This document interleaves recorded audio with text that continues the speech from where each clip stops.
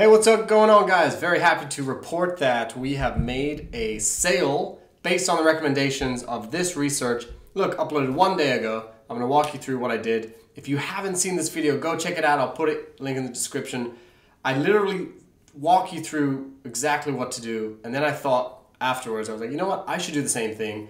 Uh, I, I should walk the talk. I don't want to just be giving advice and not doing it. So I decided to do it. And then bam, less than 24 hours later, uh, I get a sale. So let me show you what it is. So I actually, this was the shirt, and I did a bunch of them, but right now, um, you can see day created on the 14th of September, okay?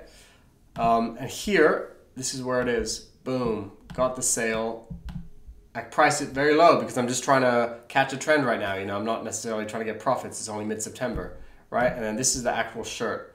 Um, and then I did this based on if you're watching the video, I'm to put it in here for all the different things uh, that we talk about. And then look how quickly you can get a sale. Uh, so hopefully this is as exciting to you as it is to me. Again, if you haven't seen the other video, go watch it again because that's exactly what I did. And I just did that here again, okay? All right, so thank you very much for watching. We gotta, we gotta use the organic traffic that Halloween gets because it can be pretty amazing. Look at that, sale in less than 24 hours. All right, talk soon. I'm to go in here, I'm to write teachers love brains shirt. You, you want to see exactly how well it's performing, okay? Nearly every shirt on the front page has got a BSR. We're at an important point in our research. Think about it. So teachers love brains are selling really well. So the teacher niche in general for Halloween is super hot, right? We validated it. We know it's selling, okay? So then what you can do, is what I recommend doing, is just do some digging.